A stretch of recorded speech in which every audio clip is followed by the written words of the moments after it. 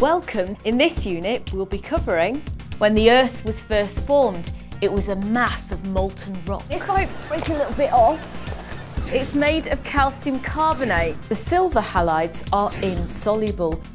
Crude oil is a thick, smelly black liquid. Can you guess which of these two forms of basalt cooled more slowly? Are the costs of metal extraction actually worth it for the amount of metal produced? This makes the electrolysis process very expensive. And we still use this oh. method of extraction today. P for proton, P for positive. Examples of exothermic reactions include combustion, where fuels are burned.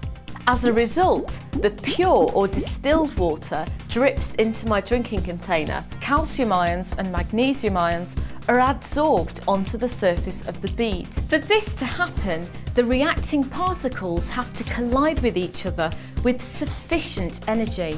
As you can see, increasing the temperature of the reactants, small spark has ignited coal and flour dust in the air. At the beginning of the 19th century, there were only about 30 elements known. I love pianos. Many compounds of transition metals also burn with a coloured flame. The elements in group zero are the six noble gases. Helium, neon. So let's summarise. When you put them together, it's exothermic. When you break them apart, it's endothermic. When you put them together, you're releasing heat energy. When you're breaking them apart, you need to keep the heat in.